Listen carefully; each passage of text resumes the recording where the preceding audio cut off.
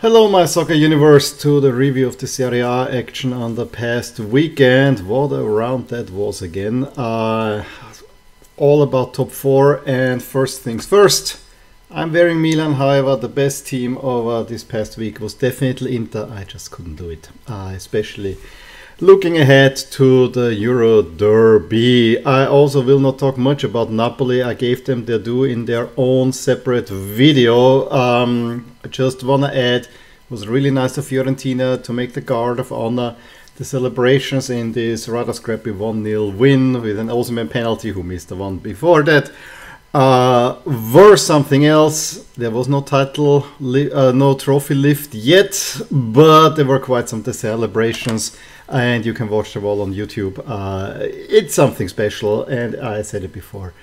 These celebrations uh, mean more to Napoli than probably in any other city in Italy for that matter. However, it's the top four race that we have to talk about. The top four race that I already said last week could well be a top three race. Um, you know, if a team that is not in the top four wins the Champions League, at the moment this would be Milan. When I say it last, um, uh, last time, time around, I said it is Inter, and then Roma win the Europa League. I think both scenarios are unlikely, so we have to talk about top four.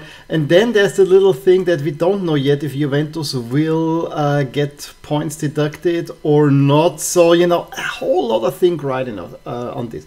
For now, let's assume the top four gets you in. There are six teams, and all six teams uh, were playing each other on the past weekend with the Milan teams again deciding the matchups with the Roman teams like last week. Last week, Milan dropped points to Roma or salvaged a point against Roma. This time, it was very, very decisive for both of these teams. Uh, Milan beating Lazio. Inter beating Roma, which combined with a uh, the points dropped for Roma actually mean that Roma probably out of it. Also, Atalanta losing to Juve has it's a steep hill to climb for Atalanta. I also think it's a steep hill for Milan at this moment. I think they will need some help for sure. Um, their performance against Lazio was okay, although it was more Lazio that was horrid. Uh, but dropping points against against Cremonese again, saving a squad uh, for the big matches ahead, and this is the squad depth. That's the problem. It's also what hurts Roma a whole lot and Inter yeah hitting the their stride Inter really really look like a team that is for sure gonna finish ahead of Milan. There uh, so I'm actually hoping more for Lazio to really drop. And uh, Sarri's teams have this kind of uh, tick that they might tail off towards the end of the season. Uh, we also had some big results on the bottom of, of the table where Verona, getting, after getting smashed by Inter, get a huge away win at Lecce, which means that they look a little bit safer. Where Spezia and um, Spezia lose to Cremonese. Cremonese getting four points this week, but I think it's a little too little too late. Sampdoria already are relegated uh, after a loss to Udinese. But when we're talking now top four battle, I think it is worth it to pull uh, up the standings from last week just to look at the chances to put it all in in, in. And I, am focusing now on spots two to seven. We had Lazio pretty nailed on at 84 points. You went to 78 points. Inter 27 outside chance. Milan 61 actually looking the favorites because of a rather soft schedule. But I already warned you, Milan have a trouble with teams that are defending deep. Roma 33%, Atalanta 16%. This is how we went into the midweek, where Atalanta had a whole lot of trouble beating a Spezia team. Uh, a Spezia team that is fighting for survival. Took the lead through Gyasi, but then de Roon Zappacosta Muriel turned the game around for Bourabia, made it again a little bit more dicey.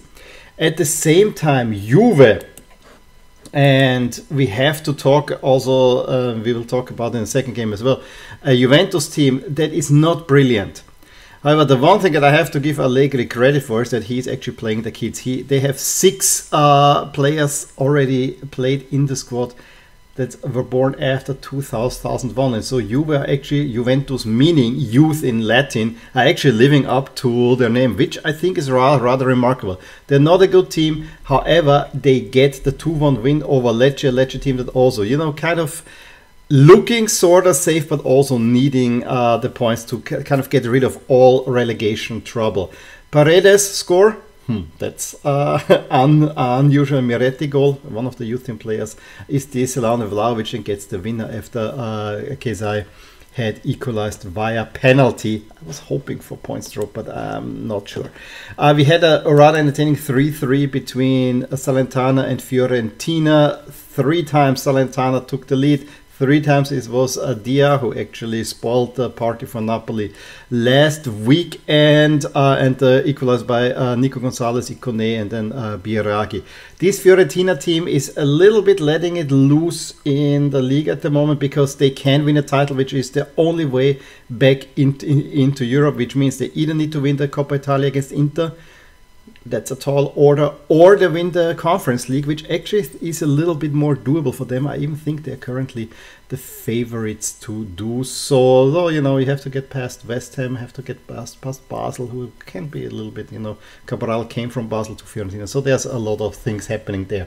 Um, Sampdoria edged closer to relegation with a 2 0 loss at home to Fiorentina, and then Milan Cremonese. It's exactly the game that I expected. it could have worked so well if Saelemaekers goal, he was really just with the upper arm offside. If that would have gone in, Milan would probably would have cruised to that win. They controlled this game, especially in the first half. I actually they played well without really scoring, but they had uh, good control over Cremonese. However, with a very much rotated squad in the second half, uh, it did not get better, and it just doesn't work to bring on Leao and Giroud in the 62nd minute they need to be pests the whole time. I actually think it would have been better to uh, have them play the first half and then take them out or give them the full, half. I know you're managing minutes.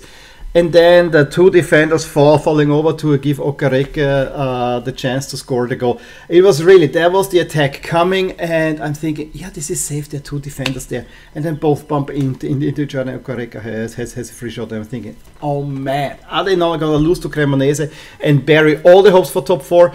honestly, lose or draw, it really does, does, make much difference. Uh, Junior Messias gets with a, I think it was a free kick that I thought was deflected, but then it was not. Um, gets the 1 1 in stoppage time. Then Pickel is sent off with a red card, but that was enough to kind of give uh, Cremonese enough rest. Milan have not only managed two points against Cremonese. Those are the things where Milan will hurt if it comes for top four.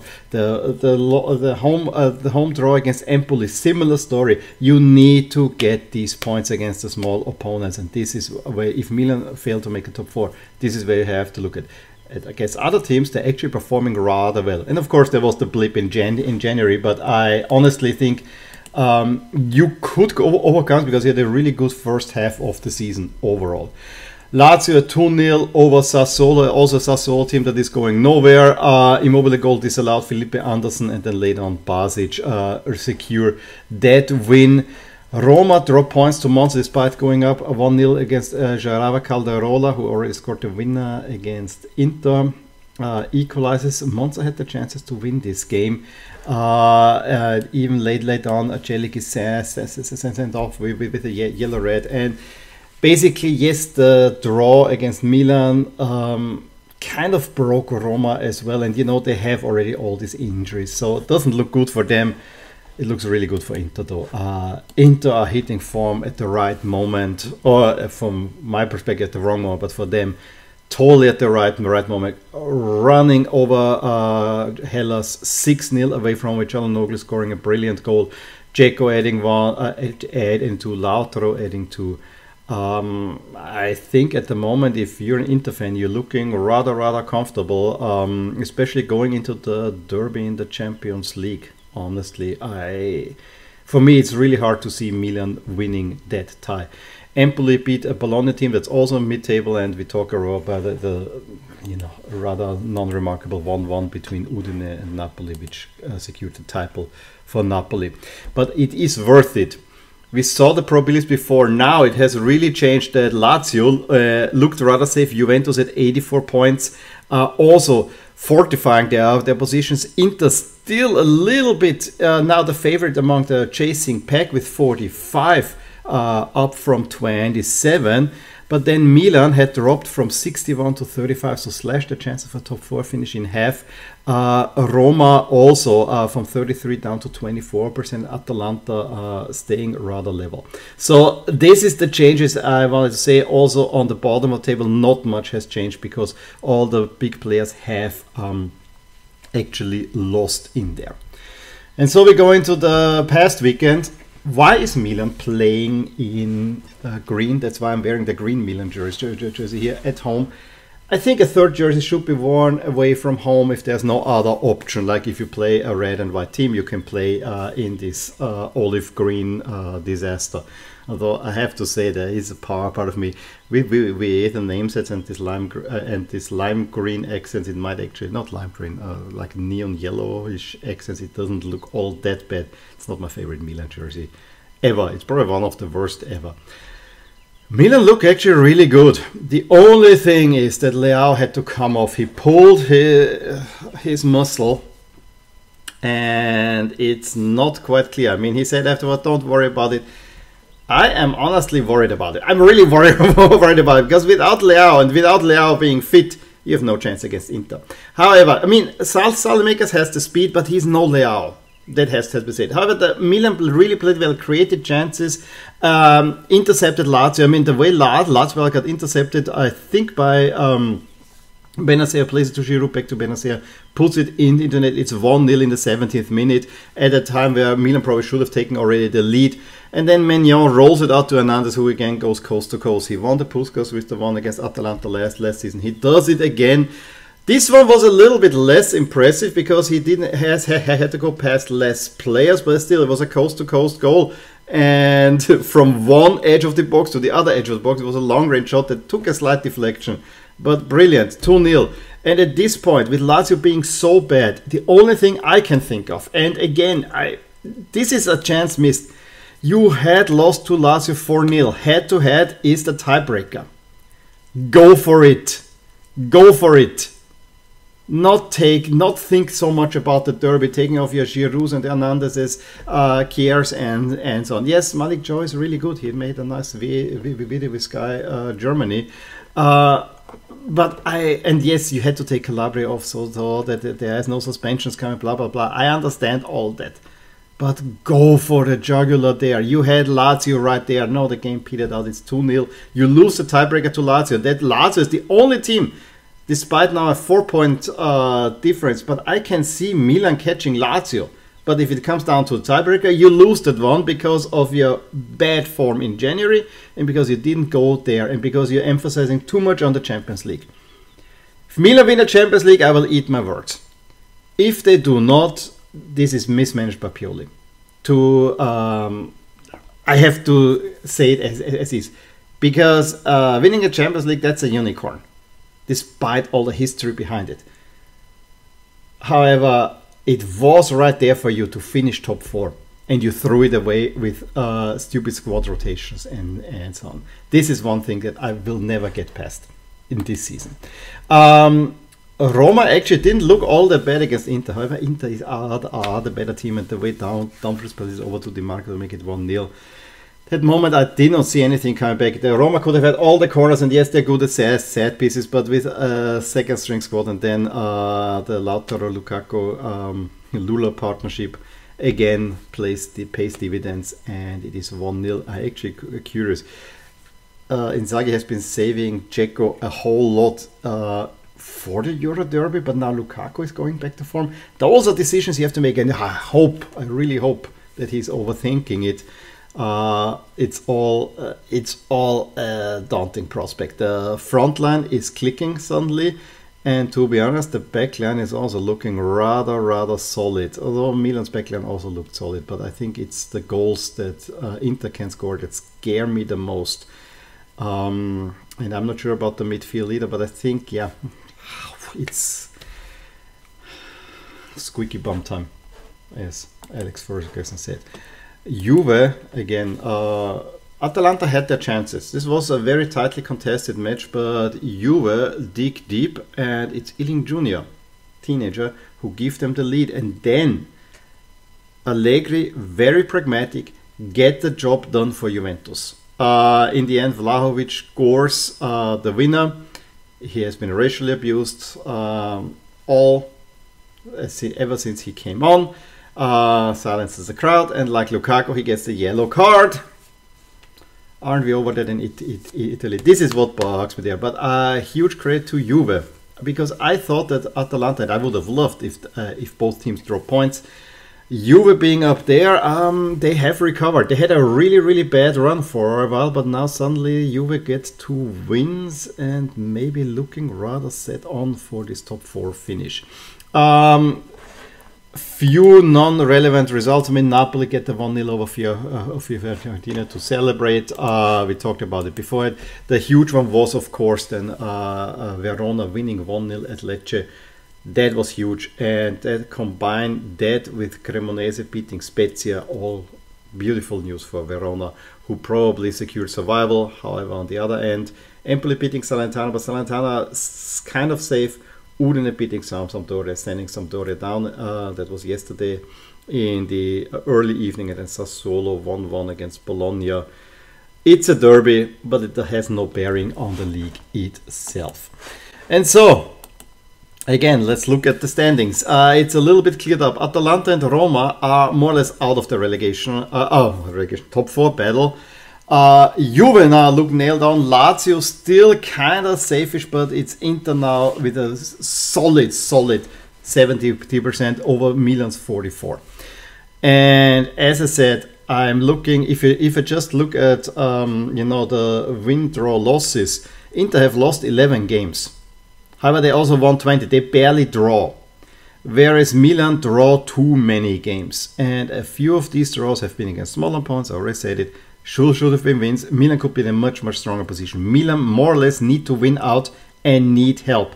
And it's on paper relatively easy except for a uh, away game to Juventus, where I actually would also favor them, although pragmatic Allegri will probably put a wrench in there. I think Milan will finish fifth, and the only way they play Champions League uh, next season is if they win the darn thing. They're not gonna win the darn thing.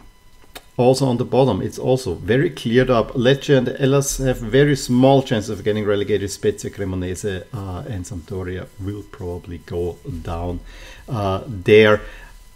What's interesting in the expected standings, it has no bearing on anything of meaning, but this very broad midfield from Fiorentina to Sassuolo, with Fiorentina on the upper edge and Sassuolo on, on the lower, but it's very wishy-washy that, uh, you know, these positions will change a whole lot. The rest is very much nailed on, it has to be said. Next two rounds. Normally, I would be happy to say Milan is going to Spezia, a Spezia team where Maldini surely is gonna score again. Uh, Paolo needs to call his son and say, please roll over. They're not gonna do that. Uh, I think Spezia will give, give the fight, will stay deep, and it will be hard. Lazio, Lecce, will be a win. Salernitana, At Atalanta doesn't remember, but Inter Sassuolo. Sassuolo is not going to um, show up at the San Siro. Not against an Inter team this form, though a lot will depend on how the derby. You know, both of these games are very much uh, conditioned by the second leg and what's hap happening between those two. Uh, I think Bologna Roma is always an interesting game, and you will get wins over Cremonese. And then the week after, Milan has to play relegated Sampdoria. Inter have to go to Napoli potentially the trophy lift will happen there, although it will happen at the last day of the season. That Napoli team has nothing to play for, so probably Inter will win that one. I really hope they make the trophy ceremony there, because that will motivate Napoli a little bit. Other than that, there is no chance, honestly, there. Um, so yeah, and Juve Empoli, nope. I've resigned myself. Milan is gonna finish fifth. Well, the Europa League is one of the trophies Milan have not won yet but they have a really hard time winning that one because sometimes there were uh, chances to do so. Any case, please let me know your thoughts on the top four race in Italy. Give me a thumbs up if you enjoyed this video. Subscribe to my channel to see more. I'll talk to you soon. Bye. Hey there, I really hope you enjoyed this video and if you did, here are some videos and playlists that you might enjoy too. Also, please consider subscribing to my channel and hit the little bell icon so you get notified whenever something happens in my soccer universe. And with that, have a wonderful day. Bye.